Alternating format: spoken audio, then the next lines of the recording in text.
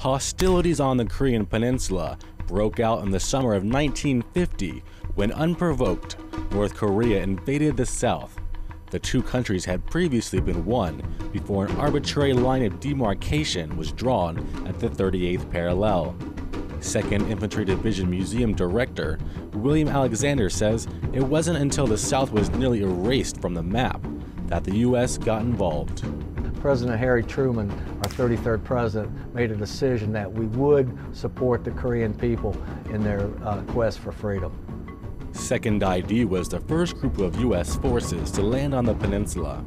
Along with other U.S. forces, they managed to push the North Koreans back and finally stabilize the peninsula.